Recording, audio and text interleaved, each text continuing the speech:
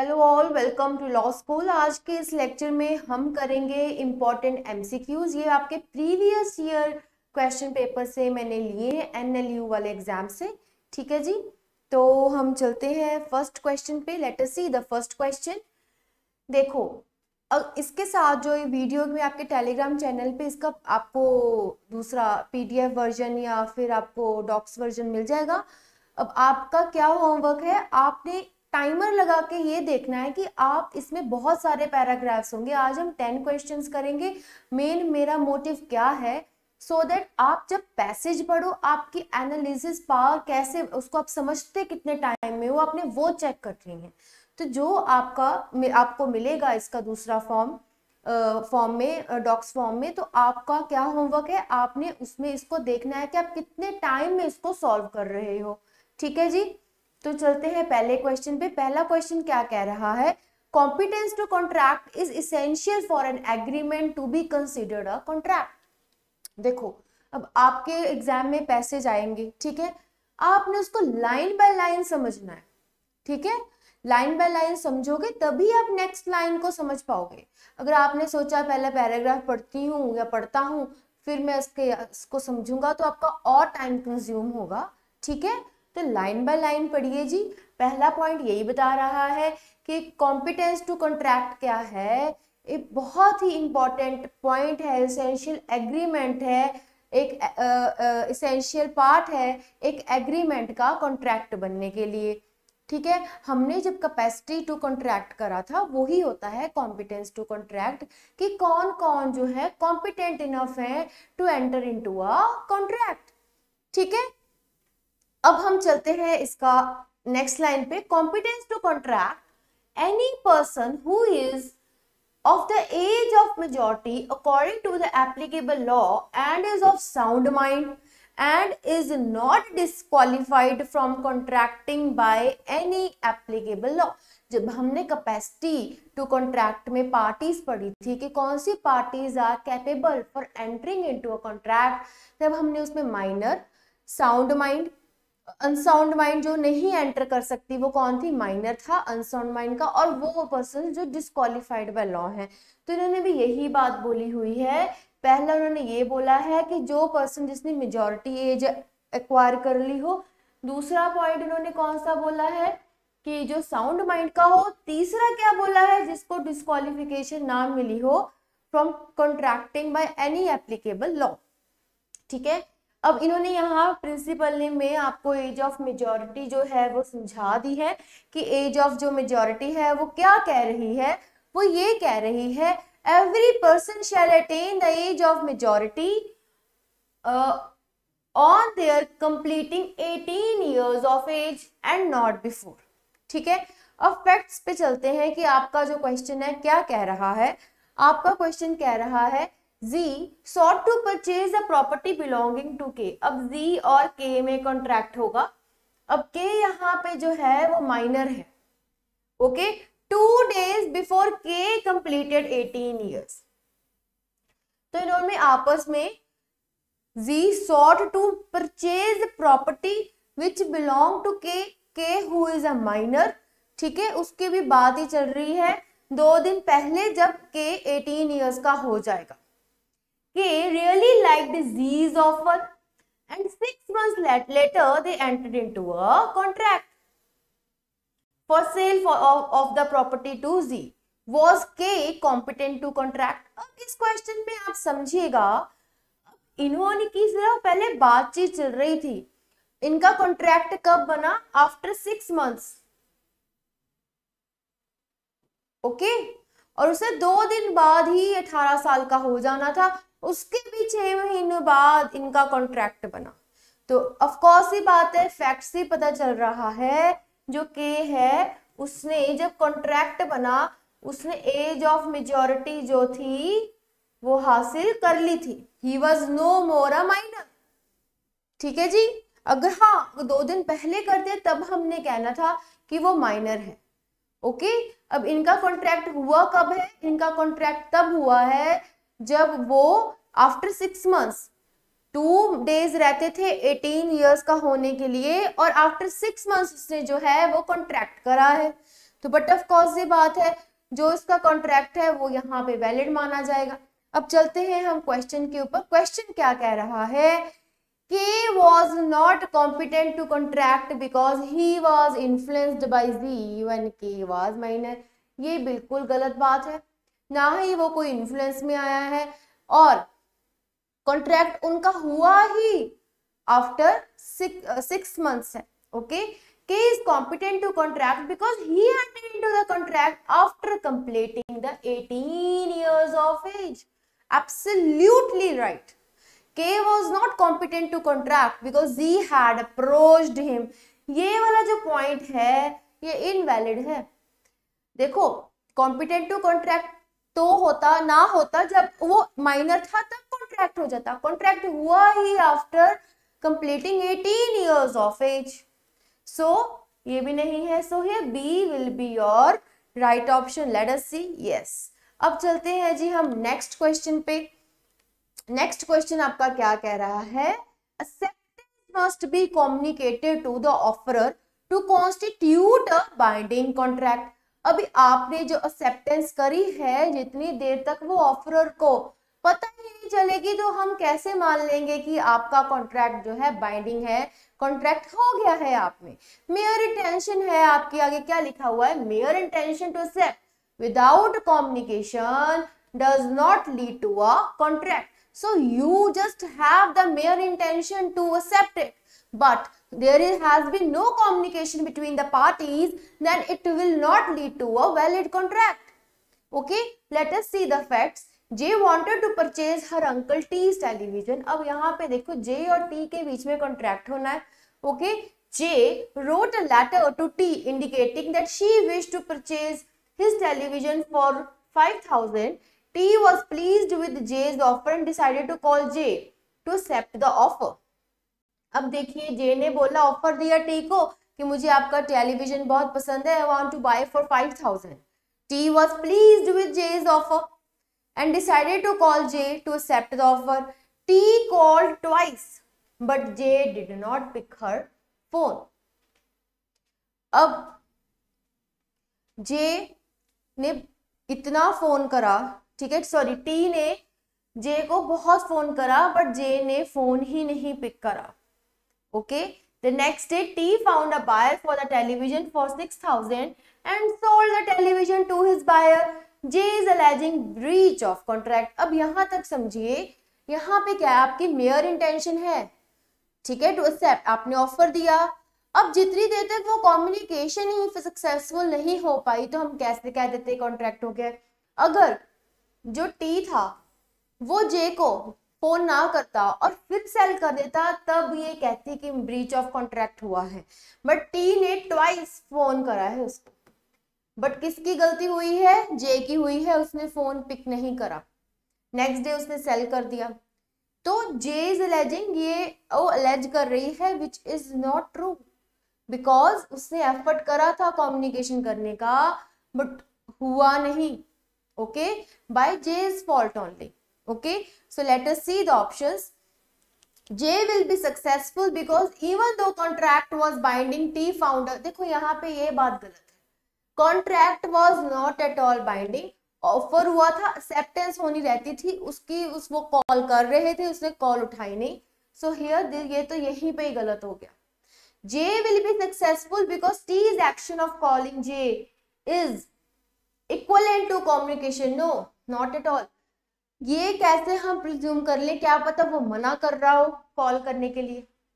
ठीक है? सो ये प्रिजम्पशन जो है, यहाँ पे नहीं चलेगी। That is why this option is also wrong now J will be successful because I was happy with J's offer because here T आएगा। Because T was happy with J's offer and had intended to accept देखो again again this is these two options are based on presumption कि J will be successful because T was happy and all this thing वो call जब उठा नहीं पाई तो how can we presume these things okay let us see the now last option J will be unsuccessful since T's acceptance had not been communicated to constitute a binding contract ये आपके question में भी line लिखी हुई थी। Okay so here D will be your right answer yes अब चलते हैं हम नेक्स्ट क्वेश्चन पे. In, in relation to the law of contracts in instances where both parties to an agreement are under a mistake about a matter of fact essential to the agreement the agreement is void आपको याद रखना है जब आपकी misrepresentation होती है तब आपके कॉन्ट्रैक्ट जो है वो वॉइडेबल हो जाते हैं अब मिस्टेक में वो वॉइड बन जाते हैं सिर्फ़ जो आपके यूनिलेटरल कॉन्ट्रैक्ट्स होते हैं मिस्टेक में मैंने आपको कल वाले जो लेक्चर था, उसमें मैंने बताया था लास्ट मेरा में लास्ट जो मैंने एमसीक्यू लेक्चर बताया था, उसमें मैंने बताया था यूनिलेटरल कॉन्ट्रैक्ट्स कौन से होते हैं। तो जो आपके यूनिलेटरल कॉन्ट्रैक्ट्स होते हैं, अगर उसमें मिस्टेक हो जाए तो वो वॉइडेबल हो जाते हैं। अदरवाइज़ यही एक्सेप्शन है। अदरवाइज़ मिस्टेक हुई है एग्रीमेंट इज़ वॉइड ओके अब फैक्ट्स पढ़ते हैं। L agrees to sell to M a consignment of food grains which was supposed to be on a ship on its way from Africa to Mumbai. अब L और M में कोई बात हुई है याद रखना However, two days before the agreement was reached, the ship carrying the grains met with an accident and all the goods were lost. L's agent had informed L about this अब L को इस बारे में पता था that the accident has happened. Is the agreement void because of mistake as to matter of fact? अब इसमें देखिए, आप इस क्वेश्चन को समझिए। आपको लग रहा है कहीं मिस्टेक हुई है। बिकॉज़ एल के एजेंट ने एल को इन्फॉर्म कर दिया है उसके बारे में। ठीक है? तो अब हम चलते हैं, पहले इसके ऑप्शंस देखते हैं। ऑप्शंस क्या कहता है? Yes since both parties committed a mistake by entering into a contract देखिए जी एल और एम में जो कॉन्ट्रैक्ट हुआ है वो अफ्रीका से मुंबई कंसाइनमेंट आनी थी उसमें उनका सामान आना था। अब two days before the agreement was reach two days Mumbai पहुँचने से पहले तब हुआ है वो का, काम। तो कॉन्ट्रैक्ट इन, इनसे कोई लेना देना है ही नहीं बिकॉज़ कोई मिस्टेक हुई नहीं क्योंकि वो कॉन्ट्रैक्ट एंटर करने के बाद हुई है problem okay no since L had ये बिल्कुल गलत बात है, इसमें कुछ डिसऑनेड इंटेंशन है, दिखी ही नहीं है क्वेश्चन में ना कहीं लिखा हुआ है। No since L was aware ये लिखा हुआ है कि L was aware that the goods were lost ठीक है? क्वेश्चन क्या आपका कह रहा था? इज़ द एग्रीमेंट वॉइड तो हम क्या कहेंगे? Agreement is not void because L was aware that the goods were lost mistake हुई नहीं है कोई? तो वॉइड कैसे आपका एग्रीमेंट हो जाएगा? Okay so here C will be your right answer let us see yes C is your right answer अब चलते हैं हम फोर्थ क्वेश्चन पे. फोर्थ क्वेश्चन जो है, आपका कह रहा है both parties to a contract are discharge from the respective outstanding obligation in situation where a supervening event signify significantly changes the nature of contractual contractual rights and or obligations from what the parties could have reasonably contemplated at the time of executing the contract. The supervening event must not be the result of default by either party nor should the contract make a provision for it. ये जो आपका point है इसको हम कहते हैं doctrine of frustration जब कुछ ऐसी प्रॉब्लम हो जाए जब कोई इम्पॉसिबल एक्ट हो जाए ठीक है तो अभी हम पहले इसके फैक्ट्स पढ़ते हैं, क्या है। अब इसमें आपको कुछ नहीं है, इन्होंने प्रिंसिपल में आपको यही समझाया हुआ है both parties to a contract are discharge they are discharge from the respective obligations in situations where supervening event significantly changes the nature of the contractual rights. कुछ ऐसी इवेंट हो गई जिससे आपके कॉन्ट्रेक्चुअल राइट से जो उनकी नेचर ही change हो गई। Okay okay? from what the parties could have reasonably contemplated at the time of executing the contract okay the supervening event जो है कह रहे हैं वो parties के default पे नहीं होना चाहिए nor should the contract make a provision for it okay fact समझिए in the city of Vitoria which is highly susceptible to public health crisis S a supplier of raw food products enter into a contract with H. अब S और H में contract होगा a restaurant owner for two years whereby S would supply certain raw products to H at predetermined prices. Their agreement also provided that in case of interruption of operations of H on account of epidemics, pandemics or any other public health crisis, the contract will be suspended till the crisis is declared to be over by the government and thereafter pending contractual obligations shall resume. ये तो आपको समझ लग गया ये क्या कह रहा है अब देखिए कहते एक सिटी है वोटोरिया करके जो कि हाईली सस्पेक्टेबल है टू पब्लिक हेल्थ क्राइसिस ठीक है एस है वो supplier of raw food products है वो एच जो रेस्टोरेंट ऑनर है उसके साथ कॉन्ट्रैक्ट में आ गया है फॉर टू इयर्स एस उनको रॉ प्रोडक्ट सप्लाई करेंगे, ठीक है? पर उनके एग्रीमेंट में उन्होंने ये पॉइंटर है जो लिख दिया है इन केस ऑफ़ इंटरप्शन अगर कोई ऑपरेशन की इंटरप्शन होती है, कोई एपिडेमिक्स हो जाते हैं या कुछ पेंडामिक हो जाता है तो उस केस में या फिर कोई पब्लिक हेल्थ क्राइसिस हो जाते हैं बिकॉज़ वोटोरिया में उन्होंने क्या लिखा हुआ है? That is highly susceptible to public health crisis तो उस केस में जितनी देर तक क्राइसिस डिक्लेयर्ड है, उतनी देर तक कॉन्ट्रैक्ट सस्पेंडेड रहेगा। और उसके बाद जो है वो पेंडिंग जो उसकी कॉन्ट्रेक्चुअल ऑब्लिगेशन है, जब वो ठीक हो जाएगा, तब वो रिज्यूम कर जाएँगी। ठीक है? Three months were left on the contract when there was highly contagious fire outbreak in the city which caused restaurant owners, including H, to suspend operations. Once the outbreak was declared to be over 6 months later H refused to purchase the raw materials from us, arguing uh, that he was discharged from the obligations under the contract. अब देखिए इन्होंने पहले यहाँ बात करी थी कि जब रिज्यूम करेंगे अब यहाँ पे रिज्यूम करने से एस एच ने जो है मना कर दिया है। ठीक है? अब हम चलते हैं इसके क्वेश्चन पे। इसका क्वेश्चन क्या कहता है? इसका क्वेश्चन हम देखते हैं इसके options H discharged from his virus obligations because the outbreak was a supervening event which changed the nature of the contractual. अब देखिए ये आपका गलत है because outbreak was not at all a supervening event because आपका वहाँ पे लिखा हुआ था कि जो विक्टोरिया सिटी है that is more susceptible to have that human public health crisis okay H is not discharge from his obligation because the contract contained a provision dealing with outbreaks further the parties could have reasonably contemplated the occurrence of the outbreak अब देखो, इनके contract में वो बात लिखी गई थी कि ऐसी कोई प्रॉब्लम होगी तो हम दोबारा रिज्यूम कर लेंगे।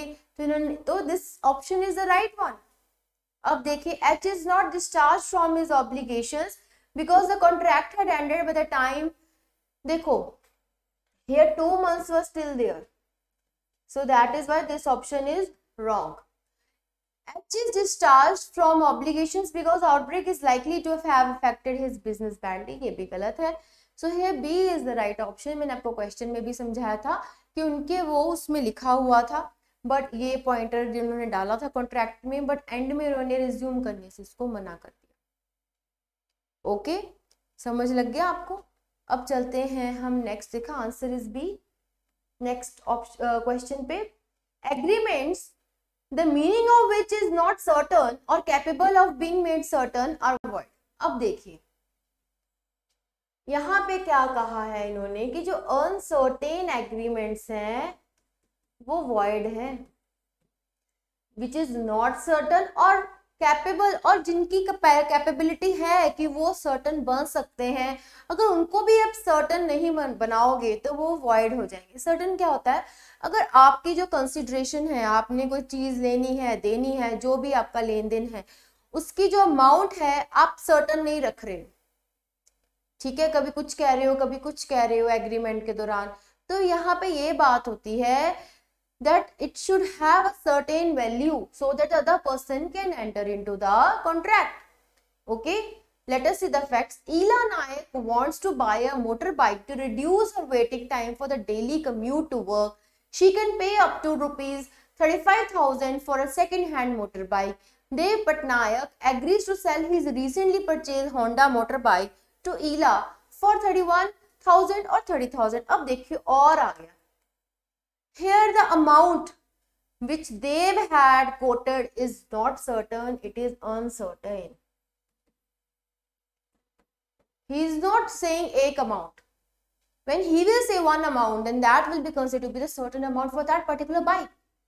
okay now let us see the options this is the valid agreement since ila can pay देखो ईला चाहे 35,000 पे कर सकती है but this will not constitute a valid unless his amount is certain आपके क्वेश्चन में जब सर्टेन की बात करी हुई है you have to answer the question according to that okay so this will be consider the wrong answer this agreement is void for uncertainty since there is nothing to show which of the two prizes was finally agreed. Exactly. the amount is not shown that there is a certain amount for which ELA can buy. Okay. This agreement is voidable. ये भी नहीं है. Agreement is valid as there is an offer from Dev. देखो देव से यहाँ पे कोई offer नहीं है. He is not certain about the price. Certain offer तब होगा when he will quote one price to ELA. Okay. So this was also not the right option here. B is your right answer. Let us see. Yes, B is your right answer. अब agreement वही बात करी हुई है इसके facts बदल गए हैं ईला नायक wants to buy a motorbike to reduce her waiting time for daily commute to work. She can pay up to 35,000 for a second hand motorbike. Dev and Ila अब यहाँ पे agree हो गए हैं that Ila will initially pay a sum of rupees 31,000 for the motorbike and if the mileage given by the motorbike exceeds 60 km per liter on an average for 5 months following the sale, then Ela will pay an additional sum of 3000. Is this a valid agreement or not? अब देखिए जी 31,000 की इनकी deal हुई है अब इन्होंने क्या कहा है कि वो देखेगी कि इतनी माइलेज है for five months for five months now she will calculate the mileage ये 60 किलोमीटर पर आवर कि वो है कि नहीं है? ठीक है, पर litre sorry here okay this this is not important for you you just have to understand the concept right फिर वो कहती है कि जब इतनी फाइव मंथ्स के बाद, जब अगर सिक्सटी माइलेज उसकी आ गई then she will pay three thousand extra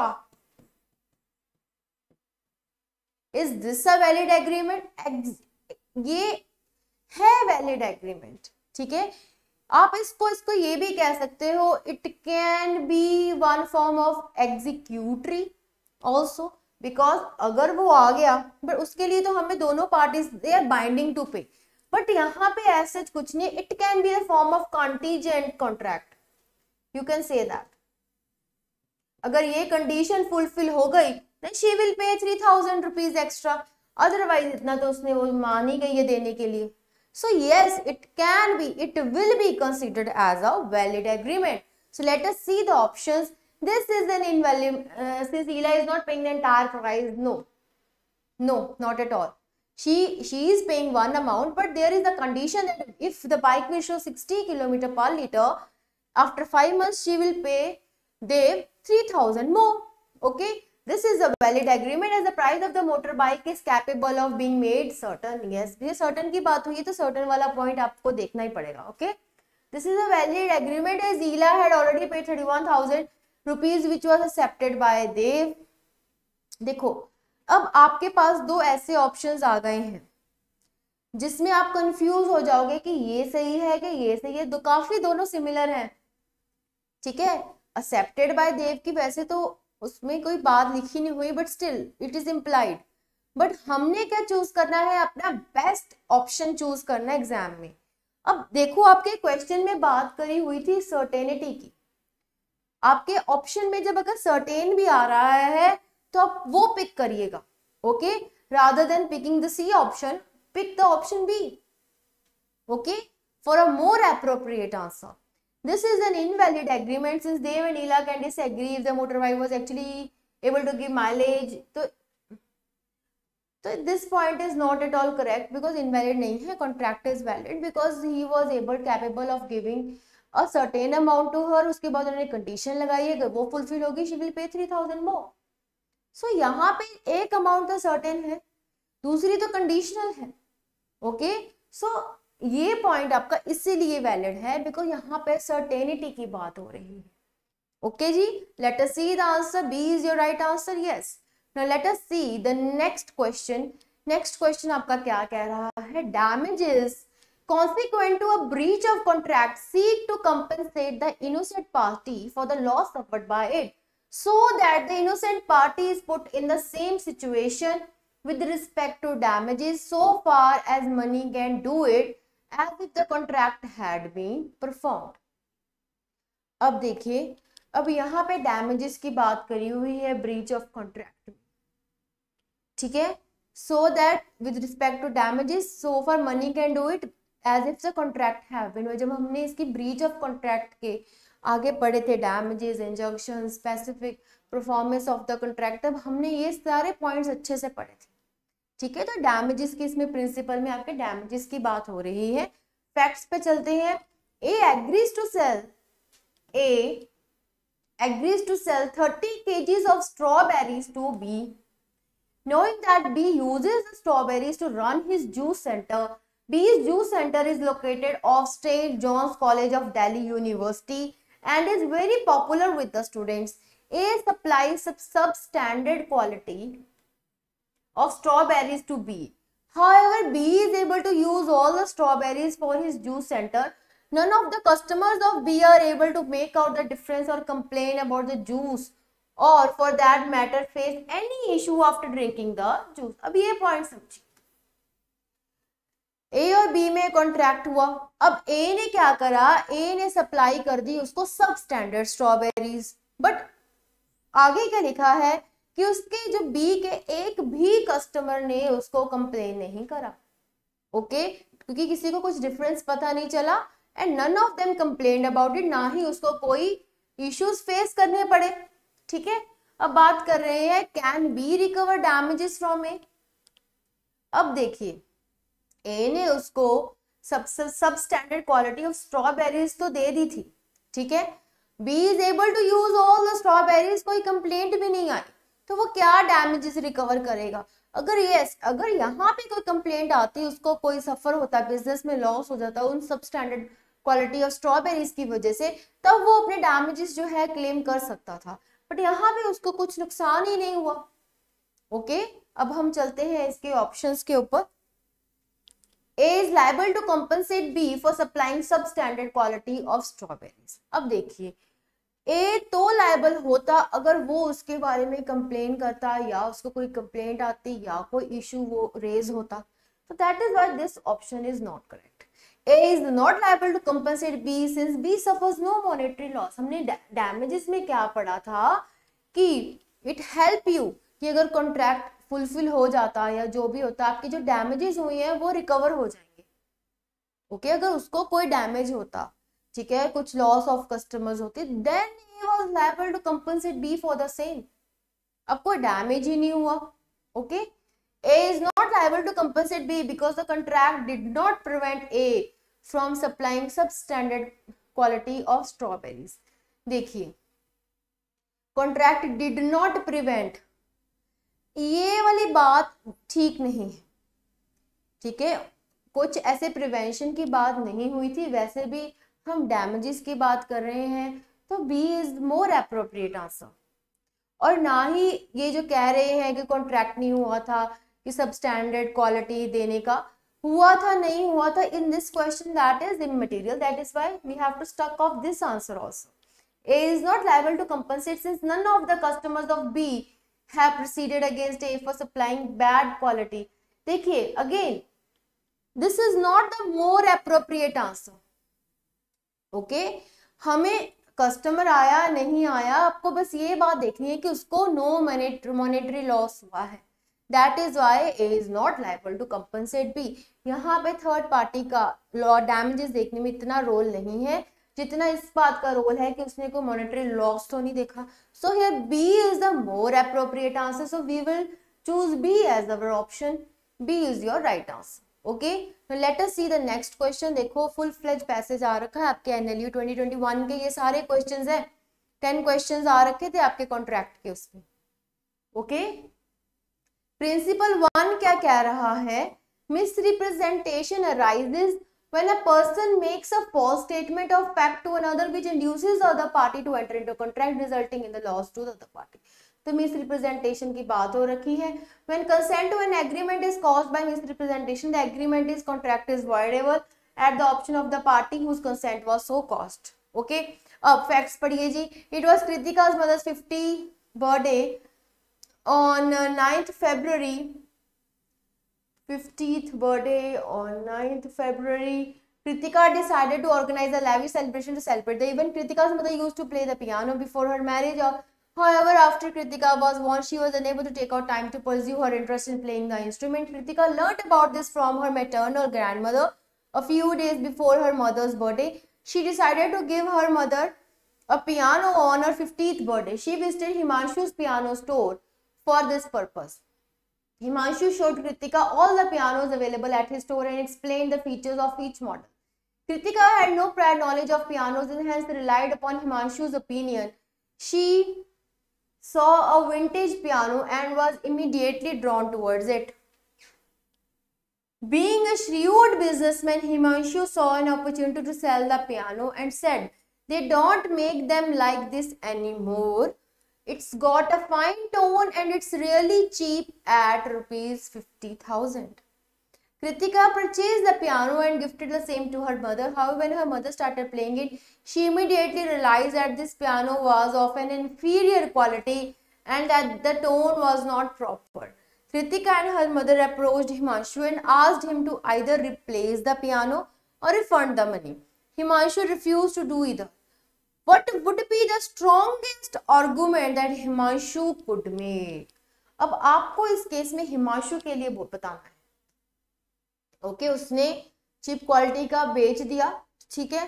अब उसको झूठ बोल के मिस रिप्रेजेंटेशन करके कि तो बहुत बढ़िया है एंड ऑल दैट बट जब वो चेंज करवाने गए तो उसने मना कर दिया, ठीक है? तो अब हमने हिमांशु के लिए देखना है कि which will be the strongest argument that Himanshu can make for the same so let us see Himanshu is not liable to do either because it is only Kritika's mother's subjective opinion that the piano was inferior and that the tone was not proper.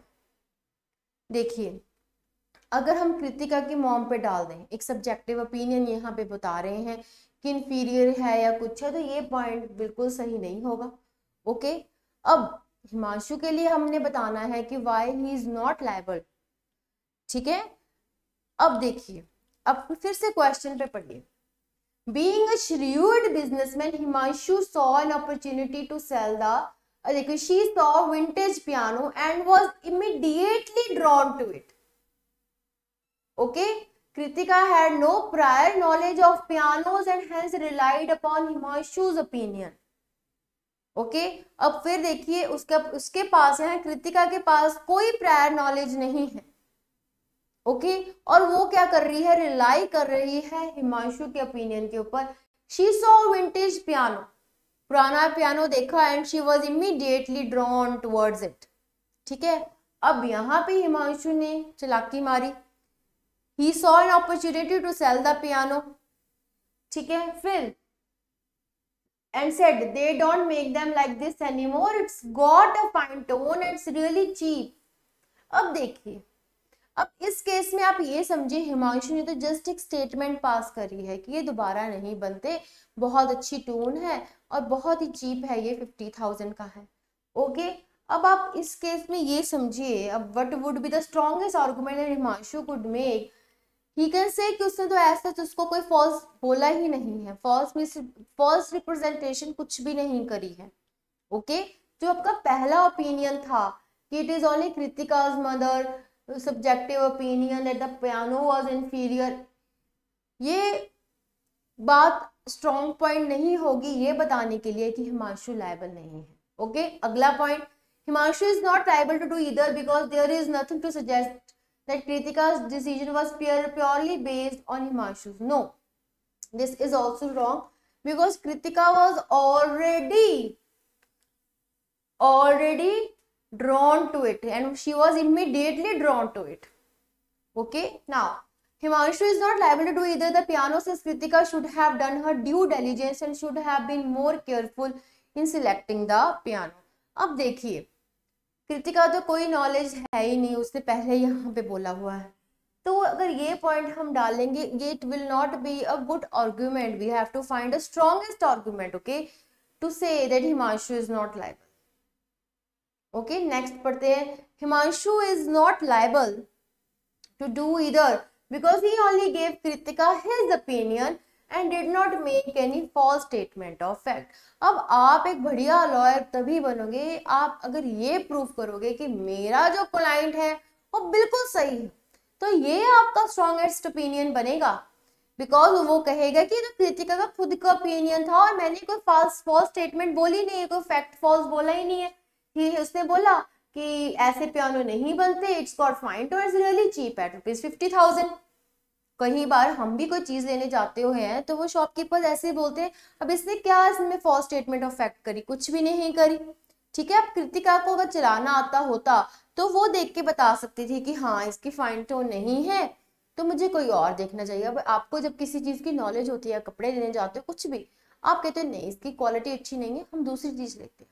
Okay so here D is the exactly the right option where you can save Himanshu with the strongest argument okay so here d is your right option let us see yes d is your right option now हम चलते हैं next question पे the doctrine of privity mandates that only a party to contract can claim upon it अब आपको पता है privity of contract क्या होता है प्रिविटी ऑफ़ कंसिडरेशन जो है इंडिया में वहाँ third party can sue otherwise third party को माना जाता है स्ट्रेंजर टू द कॉन्ट्रैक्ट और प्रिविटी ऑफ़ कॉन्ट्रैक्ट में आइदर इन इंडिया और इंग्लैंड दोनों जगह पे प्रिविटी ऑफ़ कॉन्ट्रैक्ट में थर्ड पार्टी जो है वो सू नहीं कर सकती। इसके कुछ एक्सेप्शन हैं जो हमने पढ़े थे। बेनिफिशियरी है, कोई बेनिफिशियल उसके कुछ बेनिफिट के लिए कुछ कॉन्ट्रैक्ट बना हुआ है। Then the third person can sue कोई आपके मैरिज या फिर कोई फैमिली अरेंजमेंट में कुछ ऐसा बोला गया है, जिस, जिसके लिए बोला गया है दैट पर्सन कैन सू इसका हमने बहुत सारे जब ये पढ़ा था एग्जाम्पल्स करे थे कि एक फादर है प्रॉपर्टी डिवाइड कर देता है बट तीनों को बोल देता है कि आपको इतने इतने अमाउंट अपनी सिस्टर को पे करना है। ठीक है? तो इसे कुछ फैमिली अरेंजमेंट में करा हो अगर वो ना पे करे then that sister can sue okay third होता है जब आपको नॉलेज होती है या देर इज़ अ प्रॉमिस और जब आपका डॉक्ट्रीन ऑफ़ स्टॉपल वहाँ पे लग जाता है। ठीक है कि प्रॉमिस हुआ था। थर्ड पार्टी को पता है कि मेरे लिए ये प्रॉमिस हुआ था, वो फुलफिल नहीं हो रहा है। At that case third party case okay जी? तो ये इसके कुछ एक्सेप्शन हैं। अदरवाइज़ प्रिविटी ऑफ़ कॉन्ट्रैक्ट यही कहता है आपका कि थर्ड पार्टी कांट्स ओके तो यहाँ पे क्या लिखा है? Mandate that only a party to the contract only the parties to contract can sue okay जी अब चलते हैं इसके फैक्ट्स पे P started the business of manufacturing table lamps which he sold to distributor Q who in turn sold the lamps to a store owner R अब इन देखो P Q R में ऐसे कॉन्ट्रैक्ट जा रहा है P का Q के साथ है Q का R के साथ है okay ji now who in turn sold the lamps to a store owner R in the city P entered into an agreement with Q which mandated that Q can only sell the lamps to store owners at a minimum retail price of rupees 50 okay failing which q would have to pay rupees 5 for each lamp okay sold below rupees fifty अगर P और Q के बीच में आपस में ये contract है कि जो क्यू सिर्फ़ आगे ओनर्स को सेल कर सकता है फिफ्टी रुपीज़ का। अगर उसे वो कम देगा तो क्यू को जो है फाइव रुपीज़ ईच देने पड़ेंगे, ठीक है? अगर वो फिफ्टी से कम सेल करेगा। Q enter into an identical contract with R अब क्यू और आर आपस में कॉन्ट्रैक्ट बना रहे हैं। क्या कह रहे हैं ये? Mandating that R can only sell the lamps to customers for rupees 50 failing which R would have to pay Q rupees 5 for each lamp sold before, uh, below rupees 50. R sold a lamp to customer for rupees 40 and P seeks to claim against R. अब देखिए अब Q की R के बीच में हुई थी अब R ने क्या करा लैम्प जो है 50 के बजाय 40 का दे दिया अब क्या कर रहे हैं पी आर को सू कर रहे हैं कॉन्ट्रैक्ट तो क्यू और आर का बना है पी और आर का तो नहीं बनाना तो that is why here P जो हो लाइबल नहीं होंगे आर को सू करने के लिए। इसमें जो है आपका केस लगता है, हमने पढ़ा हुआ है ये केस आपका डुनलोप टायर्स वाला जो हमने पढ़ा था। You remember all Dunlop pneumatic tyre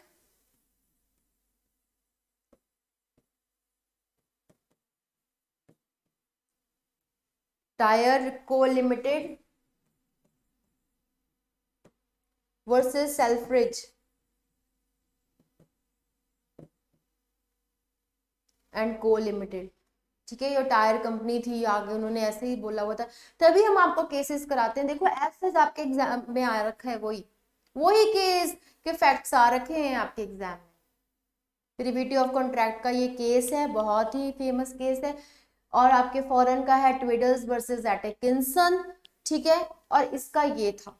okay टूलोप tyres वाला कि इंडिया में भी प्रिविटी ऑफ़ कॉन्ट्रैक्ट है, वो मतलब स्ट्रेंजर कांट्स ये वो कहता है जो प्रिविटी ऑफ़ कॉन्ट्रैक्ट क्या कहता है? Only a party to the contract can claim upon it okay जी तो ये आपका एज सच यही आपका लग गया, यहाँ पे वही सेम फैक्ट्स है। केस करा हो ना, अगर आपने अच्छे से ध्यान से क्लास लगाई हो तो आप इसको ऐसे सॉल्व कर दो क्योंकि आपको पता है इसमें वो वही केस की बात सेम फैक्ट्स पे बात हो रही है ओके तो ये आपका क्वेश्चन है अब हम चलते हैं इसके ऑप्शंस के ऊपर P विल नॉट अब देखिए अगेन P का Q के साथ कॉन्ट्रैक्ट था आगे Q ने R के साथ करा है अब P जी कर रहे हैं R को सू P will not be successful since there is no privity of contract between P and R. Absolutely. Only those parties can contract who are the party to the contract. यहाँ पे P और R में कोई contract नहीं हुआ है। P and Q में हुआ है। Q सू कर सकता है R को बट P सू नहीं कर सकता R को okay P will not be successful since R is free to sell the products. देखिए, ये भी sell the products at the price of their choosing ये क्यों अप्रोप्रिएट नहीं है? बिकॉज़ हम प्रीविटी ऑफ़ कॉन्ट्रैक्ट की बात कर रहे हैं। P will not be successful since Q has not been made a party to the proceedings ये भी राइट ऑप्शन नहीं है अप्रोप्रिएट हमने क्या देखना है कि there is no privity of contract अगर पी क्यू आर ने आपस में मिलकर ये कॉन्ट्रैक्ट करा होता, तब P must have been successful against R okay P will not be successful since there is no privity of contract between P and Q ऐसा कुछ भी नहीं है. पी एंड क्यू में तो कॉन्ट्रैक्ट हुआ है. तो P will not be successful यहाँ पे नो वर्ड नहीं होना चाहिए था okay so P will not be successful since there is no privity of contract between P and R okay P and Q की नहीं हम बात कर रहे यहाँ पे। पी एंड आर में कोई कॉन्ट्रैक्ट नहीं था okay here a is your right option. Now let us see the last question for today. अब इसका प्रिंसिपल देखिए फ्रॉड की बात कर रहे हैं। Include the suggestion as a fact of which is not true by one who does not believe it to be true or or the active concealment of a fact by, by one having knowledge or belief of the fact with intent to deceive another party or her agent to enter into the contract तो यहाँ पे basically fraud की बात कर रखी है इन्होंने okay facts पढ़ते हैं Windon Limited is a leading manufacturer of wind turbines to harness wind energy to produce electricity. It is based out of Nagaland in India and has been manufacturing wind turbines since the early 1990s. With national and international fame, Z Infrastructure Limited is a leading infrastructure firm with a proven track record in building energy installations and highways across India. Z Infrastructure wanted to expand its portfolio and operate a wind energy park to supply clean electricity. Representatives from Windon and Z infrastructure carried extensive uh, negotiation advised by leading law firms and commercial advis advisory firms on both sides for the latter to establish wind on park in Odisha. Okay, Z infrastructure wanted wind on to guarantee that the turbines will generate 54 lakhs kilowatt of energy per turbine annually. अब आती है आपकी यहाँ पे main बात कि जी infrastructure क्या चाहती थी कि विंडॉन गारंटी दे कि जो उनकी टर्बाइन हैं, वो 54 लाख किलो वॉट की एनर्जी जो है, पैदा कर सके annually Wind On stated position was that generation of energy is dependent upon the availability of wind and they could not guarantee it how they provided an estimate in the contract for supply of turbine turbine will be able to generate around 50 lakh kilowatt per turbine annually The turbines were, sub were supplied by wind on and operated by Z infrastructure in Odisha for over two years. During this period, the infrastructure found that the average energy generation of each turbine came, uh, came to around 35 lakhs kilowatt annually only. इन्होंने claim करी थी 50 आई सिर्फ 35 they were frustrated as the actual generation of each turbine was significantly lower than the generation estimated power by wind on they reached out to lal and co a leading dispute resolution law firm to understand if they could initiate a action against wind on for, for fraudulently representing the generation estimate of each turbine देखो यहाँ पे तो सारा आपका ऐसे बताई हुई है ये इतना समझ आ गया, ठीक है, नहीं, या तो भी, ठीक है फैक्ट्स पे बस ध्यान देने, इतने इम्पोर्टेंट कुछ खास फैक्ट्स नहीं है इसके। ओके अब ये जा रहे हैं जी, देखिए लॉ फॉर्म के पास, ये पूछने की वो सू कर सकते हैं विंड ऑन को कि नहीं, क्योंकि उन्होंने फ्रॉडुलेंटली रिप्रेजेंट कहते हैं हमें एस्टिमेट दिया, इतना तो एस्टिमेट का वो आ भी नहीं रही है energy okay so you are a lawyer at Lal and co and you were asked if Windon had committed fraud by providing an inflated energy generation estimate or not. देखिए जी। अब आप इसको दोबारा समझिए। उन्होंने पहले उनसे गारंटी मांगी। उन्होंने कहा, देखो, हम कोई गारंटी नहीं दे सकते। हम कुछ एस्टिमेट बता सकते हैं। तो यहाँ पे भी अराउंड 50 लैक्स की उन्होंने बात करी थी। अराउंड 50 लैक्स ओके अब प्रिंसिपल क्या कह रहा है? Fraud include suggestion as a fact और विच इज़ नॉट ट्रू अब देखिए फ्रॉड में क्या होता है? कोई ऐसी आप सजेशन दे दो जो बिल्कुल ट्रू ना हो। ठीक है?